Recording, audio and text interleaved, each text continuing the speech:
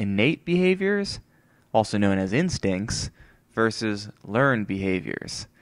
And the main difference is an innate behavior is a behavior that's performed correctly the first time an animal or a human performs it in response to a stimulus. It's something that they innately possess. Another name for an innate behavior is an instinct, which is a more common word that people are familiar with. Learned behaviors, on the other hand, are behaviors that are learned through experience. So, I've already written down some of the most common types of innate and learned behaviors.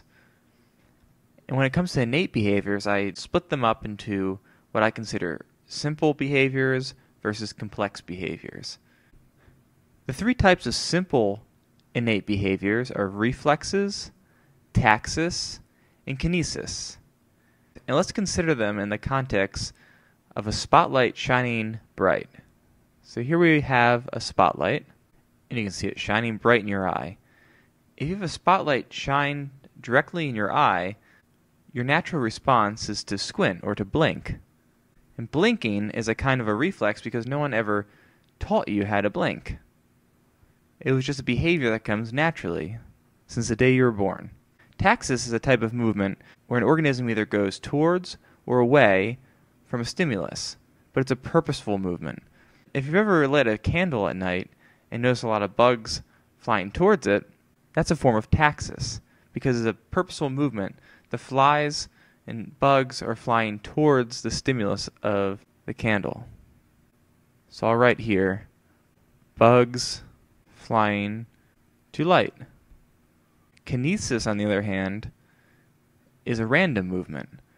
And using the example of the spotlight, if you were to turn on the spotlight in a dark room and there's a group of rats on the floor, they might respond to the stimulus of this light by randomly scurrying in different directions.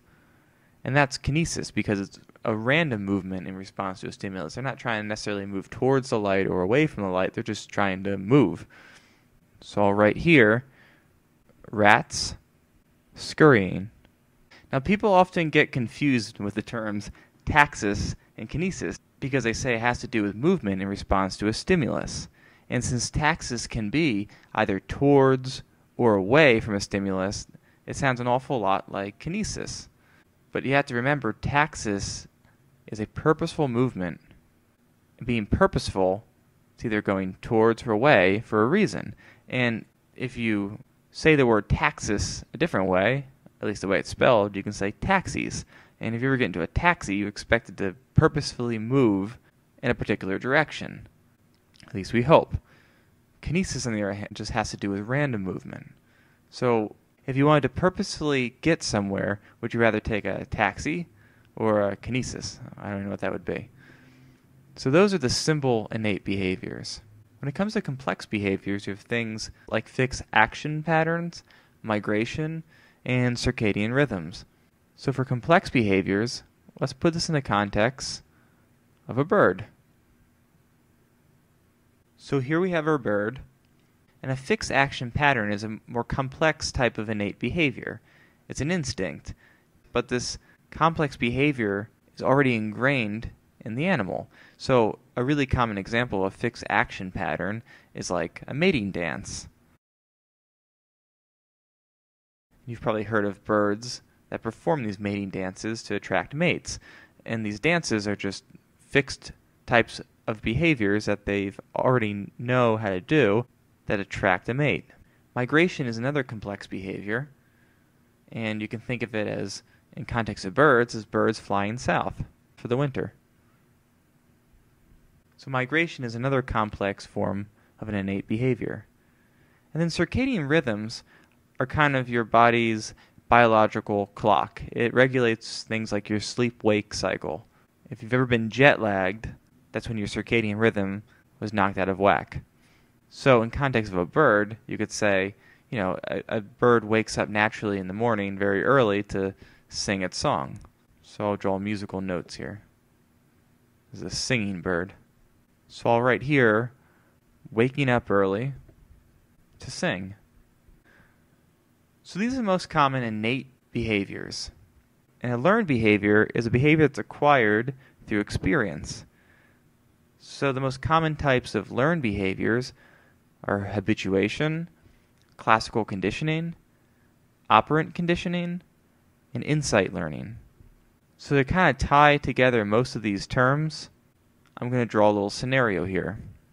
So imagine this is you,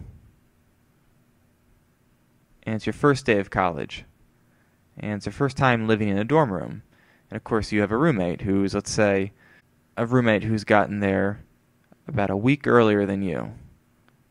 I don't know why he's bigger, but he is. This is you. This is your roommate. And if you've ever had the experience of living in a dorm, one thing that often happens is people making popcorn will unintentionally burn it. So here we have popcorn. I'm going to draw smoke here, symbolizing the burnt popcorn. What happens when the popcorn burns is it sets off fire alarms. So here's a fire alarm. And we'll say the fire alarm is ringing off loudly. So this being your first day in this dorm room, you hear this loud fire alarm and you freak out. But your roommate, who's been there for a week, barely even flinches. That behavior of barely even flinching is a form of habituation. And the way you can think of habituation is it's a decrease in or end of a response to a stimulus. So the fact that your roommate didn't even react to that stimulus of the fire alarm ringing off loudly is a form of habituation. Now the next term here is classical conditioning. And classical conditioning can kind of be summed up as one stimulus being associated with a second stimulus that produces a particular response. So the fact that you freaked out to the sound of a fire alarm is a form of classical conditioning. And really, if you think of it, it's natural to be afraid of fire.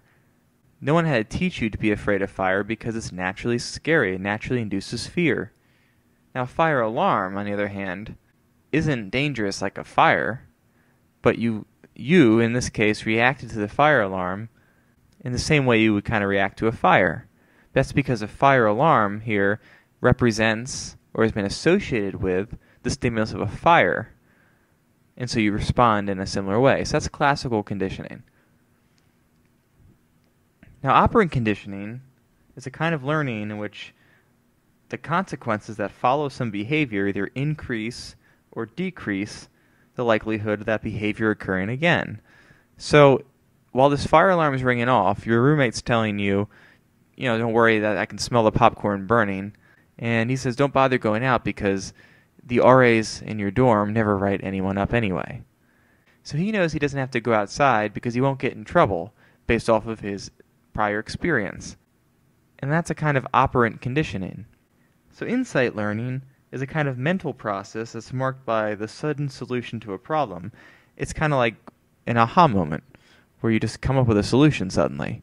And I couldn't really think of a way to integrate it into popcorn being burnt, but one example is things like a math equation. So if you were asked to solve a particularly difficult math equation, it might take you some time. But if you suddenly come up with a solution or a way to figure it out, that's insight learning. And that's because you've already learned to add, subtract, multiply, divide, and using those skills to solve the problem. And when you finally have some t- sort of insight or aha moment on how to solve that problem, that would make it insight learning. And so these are the basic types of learned behaviors. And these are the basic types of innate behaviors. So to summarize, so when it comes to simple innate behaviors, think of a spotlight. When it comes to complex innate behaviors, think of a bird. And finally, when it comes to learned behaviors, learn not to burn your popcorn.